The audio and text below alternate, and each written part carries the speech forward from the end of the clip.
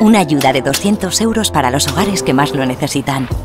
Si eres trabajador desempleado o autónomo, la renta en tu hogar fue inferior a 14.000 euros en 2021 y tu patrimonio no supera los 43.196 euros, puedes solicitarla ahora mismo.